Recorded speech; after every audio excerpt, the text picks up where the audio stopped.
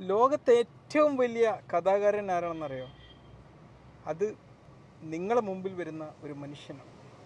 ഓരോ മനുഷ്യനും നിങ്ങളോട് കാണിക്കുന്ന ഓരോ പെരുമാറ്റത്തിനും ഓരോ ജീവിത അനുഭവത്തിനും ഏറ്റവും വലിയൊരു കഥ പറയാനുണ്ട്. നിങ്ങൾ ഏറ്റവും വിഷമിപ്പിച്ച ഒരു വ്യക്തിയാണെങ്കിലും നിങ്ങൾ ഏറ്റവും സന്തോഷിപ്പിച്ച വ്യക്തിയാണെങ്കിലും അവർക്ക് നിങ്ങൾക്ക് സമ്മാനിക്കുന്നത് ഏറ്റവും വലിയ ഒരു സ്റ്റോറിയാണ് ആ സ്റ്റോറി കണ്ടെത്തിയിട്ട് അതിൽ നിന്നുള്ള പാഠങ്ങൾ സ്വയം ഉൾക്കൊണ്ടും മറ്റുള്ളവർക്കും ഷെയർ ചെയ്യുമ്പോഴാണ് ഈ ലോകത്തെ ഏറ്റവും നല്ല സാഹിത്യ സൃഷ്ടികൾ പിറക്കുന്നത്. ലോകത്തെ ഏറ്റവും വലിയ കഥാകൃത്ത് നിങ്ങൾ കേട്ടറിഞ്ഞ മനുഷ്യന്മാരൊന്നുമല്ല. അത് നിങ്ങൾ തന്നെയാണ്. പലപ്പോഴും നമ്മൾ ആ കഥ മനസ്സിലാക്കാതെ ആ കഥയെ നമ്മൾ വ്യക്തിപരമായി എടുത്തുകൊണ്ട് അതിന്റെ പേരിൽ അനാവശ്യമായിട്ട് ഒരുപാട് അസ്വസ്ഥതകളിൽ ജീവിക്കുന്നു എന്നുള്ളതാണ് നമ്മുടെ തെറ്റ്. എന്തിന് ഇത്തരം കഥകൾ നമ്മുടെ തലയിൽ വെച്ചിങ്ങനെ പുണ്ണാക്കണം? എന്തിന് ഇത്തരം കഥകൾ നമ്മുടെ തലയിൽ അനാവശ്യമായി സൂക്ഷിച്ചുകൊണ്ട് അതിന്റെ ഉള്ളിൽ ഇങ്ങനെ ഇരുപത്തിനാല് മണിക്കൂറും ആ സ്റ്റോറി ഇങ്ങനെ അരങ്ങേറ്റിക്കൊണ്ട് എന്തിന് നമ്മൾ അസ്വസ്ഥരാവണം?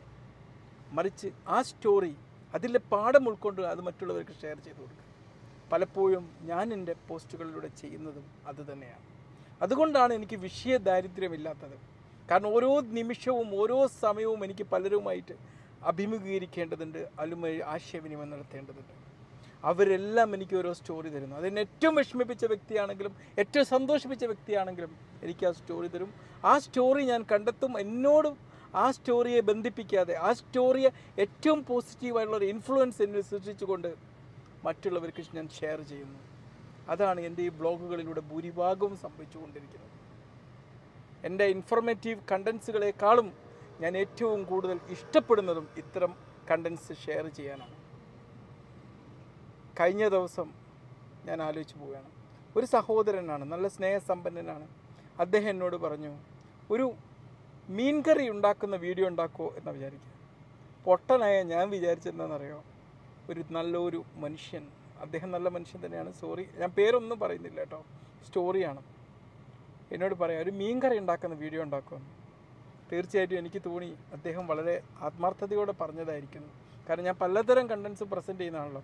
കാരണം എന്റെ പേഴ്സണൽ ലൈഫിന്റെ ഒരു റിഫ്ലക്ഷനാണ് എന്റെ ബ്ലോഗുകൾ മനസ്സിലായില്ലേ? അതുകൊണ്ട് തന്നെ എനിക്ക് എൻ പല കണ്ടൻസും പറയാനുണ്ടാവും. അങ്ങനെ എന്നോട് ചോദിച്ചു മീൻകറി ഉണ്ടാക്കുന്ന ഒരു വീഡിയോ ഉണ്ടാക്കുവാൻ അപ്പോഴാണ് ഞാൻ ആലോചിച്ചത് കഴിഞ്ഞ ദിവസം നമ്മുടെ ബക്കറാപ്പാപ്പന്റെ വീട്ടിൽ പോയപ്പം എന്റെ വൈഫിന്റെ അമ്മാവന്റെ വീട്ടിൽ പോയപ്പം അവരുടെ മനോഹരമായ വീടൊക്കെ കണ്ട് അവിടുത്തെ പ്രകൃതി രമണീയമായ അന്തരീക്ഷമൊക്കെ കണ്ട് അവിടെ നിന്നൊരു ബ്ലോഗ് ചെയ്യാം എന്നതിനെക്കുറിച്ചൊക്കെ ബക്രാപ്പ തന്നെ പറഞ്ഞ ഒരു സാഹചര്യത്തിൽ അദ്ദേഹത്തോട് കൂടി അന്ന് ഞാൻ പിന്നെ പ്രത്യേകിച്ച് വ്ളോഗ് ഒരുപാട് ചെയ്ത് കഴിഞ്ഞാൽ അതിന്റെ പോസ്റ്റ് വർക്കുകളെ കുറിച്ചൊക്കെ ചിന്തിച്ച് ഉണ്ടാക്കുക ഞാൻ പ്രത്യേകിച്ചൊന്നും ചെയ്തില്ല. ഞാൻ പറഞ്ഞു അദ്ദേഹം പറ ഫിഷിങ്ങിനൊക്കെ വളരെ ഇഷ്ടമുള്ള ആളാണ്. അപ്പോൾ ഒരു ദിവസം ഞങ്ങൾ ഫിഷിങ്ങിന് പോകാം എന്ന് പറഞ്ഞതാണ്. അപ്പോൾ ഞാൻ ഈ കമന്റ് ഇട്ട വ്യക്തിയോട് പറഞ്ഞു ഞാൻ തീർച്ചയായിട്ടും ഞാൻ ഫിഷിങ്ങിനെ കുറിച്ചൊരു വീഡിയോ ഉണ്ടാക്കുന്നുണ്ട്. പക്ഷേ മീൻ കറി ഉണ്ടാക്കുന്നതിനെ കുറിച്ചൊരു വീഡിയോ ഉണ്ടാക്കാൻ ഞാൻ ജീവിതത്തിൽ ഒരിക്കൽ പഠിക്കുന്ന സമയത്തൊക്കെ ഉണ്ടാക്കിയിട്ടുണ്ട്. സോറി മീൻ കറി ഉണ്ടാക്കിയിട്ടുണ്ട്. നല്ല ടേസ്റ്റോടെ ഉണ്ടാക്കിയിട്ടുണ്ട്. ഞാൻ അപ്പോൾ പറഞ്ഞു എനിക്കതിന് സാധ്യമാവില്ല ഒരു കാര്യം ചെയ്തോ. നീ വന്നോ. നിന്നെ നിന്നോടൊപ്പം വേണമെങ്കിൽ നമുക്കൊരു മീൻ കറി ഉണ്ടാക്കുന്ന വീഡിയോ ഉണ്ടാക്കാം എന്നുള്ളൊരു പ്രോമിസ് കൊടുത്തു. അങ്ങനെ ഞാൻ വളരെ പോസിറ്റീവായ സെൻസിൽ അതിന് റിപ്ലൈ ചെയ്തു. കുറച്ച് കഴിഞ്ഞപ്പോൾ ഈ സഹോദരൻ എന്റെ പേഴ്സണൽ മെസ്സേജിൽ സോറി പറഞ്ഞുകൊണ്ടൊരു കമന്റ് ഇടുന്നു. അപ്പോൾ എനിക്ക് മനസ്സിലായത് അദ്ദേഹം അത് വെറുതെ ഒരു തമാശ രൂപത്തിൽ ഒരു വെറുതെ പറഞ്ഞതായിരുന്നു. ഞാൻ വിചാരിച്ചു അദ്ദേഹം സീരിയസ് ആയിട്ട് പറഞ്ഞതായിരുന്നു. ഇതാണ് നമ്മുടെ ലൈഫിലെ കമ്മ്യൂണിക്കേഷന്റെ ഒരു റിസൾട്ട് എന്ന് പറയുന്നത്. പലപ്പോഴും നമ്മൾ മറ്റുള്ളവരുടെ കമ്മ്യൂണിക്കേഷനെ നമ്മൾ മനസ്സിലാക്കുന്നതായിരിക്കില്ല അവർ നൽകുന്ന ഉത്തരം.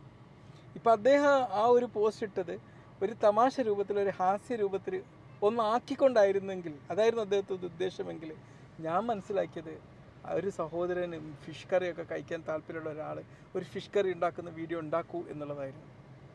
ഇതാണ് ജീവിതത്തിൽ നമ്മൾ സംഭവിക്കുന്നത്. നമുക്ക് ഞാൻ പറഞ്ഞല്ലോ സ്റ്റോറീസ് ആണ്. നമ്മളെല്ലാ എല്ലാവരും എന്തൊരു ലൈഫ് എക്സ്പീരിയൻസ് ആണോ മറ്റുള്ളവർ നമുക്ക് നൽകുന്നത്? അതിനൊരു സ്റ്റോറി ഉണ്ടാവും. സ്നേഹത്തിൽ കുതിർന്ന അല്ലെങ്കിൽ നിസ്സഹായതയോടെ നോക്കി നിൽക്കുന്ന ഒരു മനുഷ്യൻ നൽകുന്ന ഒരു സ്റ്റോറി ദേഷ്യം പിടിച്ചു വരുന്ന കോപിച്ചു വരുന്ന മനുഷ്യൻ ഒന്ന് ആലോചിച്ച് നോക്കൂ. ആ മനുഷ്യരുടെ ചിമ്പാൻസിയെ പോലെ അല്ലെങ്കിൽ ഒരു വന്യമൃഗത്തെ പോലെ നിങ്ങൾ മുമ്പിൽ അട്ടഹസിക്കുന്ന രംഗം. ഒന്ന് ചിന്തിച്ച് നോക്കൂ. അല്ലെങ്കിൽ എല്ലാ മനുഷ്യരും മരണത്തിന് മുന്നിലേക്ക് പോകുന്നവരല്ലേ? ആ മനുഷ്യന്മാരൊക്കെ മരിച്ചു കിടക്കുന്ന ആ രംഗം ഒരു നിമിഷം ചിന്തിച്ചു നോക്കൂ. അത് നിങ്ങളെ ലൈഫിൽ നൽകുന്ന ആ വ്യക്തികളോട് ദേഷ്യം പിടിപ്പിച്ച ആ വ്യക്തികൾക്ക് നിങ്ങൾക്ക് പെട്ടെന്ന് അവരിൽ അവരെ കുറിച്ചുണ്ടാവുന്ന നിങ്ങളുടെ സ്റ്റോറി എത്ര ഡിഫറെന്റ് ആയിരിക്കും നോക്ക്. ഇതുപോലെ നമുക്ക് അനുകൂലമായ രീതിയിൽ നമുക്ക് അസ്വസ്ഥം ഉണ്ടാക്കാത്ത രീതിയിലേക്ക് നമ്മുടെ സ്റ്റോറിയെ നമ്മളങ്ങോട്ട് ചേഞ്ച് ചെയ്യണം. അപ്പോൾ എന്തായിരിക്കും സംഭവിക്കുന്നത് നമുക്ക് കിട്ടുന്ന റിസൾട്ട് വേറൊന്നായിരിക്കും. ഈ സഹോദരൻ പറഞ്ഞൊരു വാക്ക് അദ്ദേഹം എനിക്ക് നൽകിയ റിസൾട്ട് മറ്റൊന്നായിരുന്നു. ഞാനതിന് വളരെ പോസിറ്റീവ് ഒരു സെൻസിൽ എടുത്തിട്ടുണ്ടായിരുന്നു. ഇതുപോലെ നമ്മൾ എപ്പോഴും ലൈഫിൽ കാണാൻ പറ്റണം. കാരണം എന്റെ പ്രശ്നം എന്ന് വെച്ച് കഴിഞ്ഞാൽ നമ്മുടെ ജീവിതം എന്ന് പറഞ്ഞു കഴിഞ്ഞാൽ ഇന്ന് ആ ഒരു അവസ്ഥയിലാണ്. നമ്മുടെ പൂർവികരായിട്ട് നമുക്ക് തന്ന ഒരു മസ്തിഷ്കം നമ്മൾ എന്തിലൊക്കെ എന്ത് നെഗറ്റീവും എന്ത് ഭീഷണിയും ഉണ്ട് എന്ന് കാണുന്ന അവസ്ഥയിലേക്ക് പരിവർത്തനം ചെയ്തിട്ടുണ്ട്. അതിൽ നിന്ന് നമ്മുടെ മനുഷ്യൻ എന്ന് പറഞ്ഞു കഴിഞ്ഞാൽ നമുക്ക് ലോജിക്കായി ചിന്തിക്കാൻ ശേഷിയുള്ള ഒരു ജീവിയാണ്. നമ്മൾക്ക് അതിൽ എന്ത് പോസിറ്റീവ് ഉണ്ട് എന്ത് പോസിറ്റീവായ ഒരു ഗുണപാഠമുണ്ട് എന്ന് അന്വേഷിക്കുന്ന രീതിയിലേക്ക് നമ്മുടെ സ്റ്റോറികളിലേക്ക് നമ്മൾ ആഴ്ന്നിറങ്ങി ചെല്ലണം. അതാണ് നമുക്ക് നൽകേണ്ടത്. നമ്മൾ അസ്വസ്ഥതമാക്കാൻ മറ്റു മനുഷ്യർ നമുക്ക് മുമ്പിൽ സൃഷ്ടിച്ച് ഒരു സ്റ്റോറിയെയും അനുവദിക്കാൻ പാടില്ല. ഒരു സ്റ്റോറിയെയും അനുവദിക്കാൻ പാടില്ല. അതിൽ നിന്നൊരു പോസിറ്റീവ് എസൻസ് കണ്ടെത്തിയിട്ട് അതിന് ഷെയർ ചെയ്ത് കൊടുക്കുകയാണ് നമ്മൾ ചെയ്യേണ്ടത്. തീർച്ചയായിട്ടും ആ സഹോദരനോട് എനിക്ക് ആ മെസ്സേജ് ഇട്ടപ്പോഴും വിഷമല്ല. അദ്ദേഹം സോറി പറഞ്ഞപ്പോഴും വിഷമല്ല. അദ്ദേഹം ഞാൻ ഡിലീറ്റ് ആക്കിയതുമില്ല. ഡിലീറ്റ് ആക്കേണ്ട ആവശ്യം എനിക്കില്ലായിരുന്നു. കാരണം ഞാൻ ഡിലീറ്റ് ആക്കുന്ന സ്പെസിഫിക് കമ്മ്യൂണിറ്റി എന്ന് പറഞ്ഞാൽ ഇതിന് നിത്യം ഒരു ശീലമാക്കിയ വ്യക്തികളെ മാത്രമാണ് ഞാൻ ഡിലീറ്റ് ആക്കാറുള്ളത്. അല്ലാതെ അങ്ങനെ വിമർശിച്ചതിന്റെ പേരിൽ ആയിട്ടൊന്നും ഞാൻ ഡിലീറ്റ് ആക്കാറില്ല. അതിന് അത് അങ്ങനെ ഡിലീറ്റ് ആക്കണം എന്നൊരു സ്റ്റോറിയുമല്ല കാരണം വിമർശനങ്ങളാണ് എനിക്ക് ഇഷ്ടം. കാരണം വിമർശ നിങ്ങളിൽ നിന്നാണ് സ്റ്റോറികൾ നമുക്ക് കണ്ടെത്താനുള്ളത് ഗുണപാഠങ്ങൾ കണ്ടെത്താനുള്ളത് പാഠങ്ങൾ കണ്ടെത്താനുള്ളത്. തീർച്ചയായിട്ടും നിങ്ങളുടെ ലൈഫിൽ ഇതുപോലെ ഒരുപാട് സാഹചര്യങ്ങളുണ്ടാവും. ഒരുപാട് സ്റ്റോറീസുമായി ഒരുപാട് പേര് വരുന്നുണ്ടാവും. തിരിച്ചറിയുക നിങ്ങളുടെ ലൈഫിന് എന്തൊരു പോസിറ്റീവായിട്ടുള്ള ഒരു സ്റ്റോറിയാണ് ഇവർ സമ്മാനിക്കുന്നത് എന്ന്.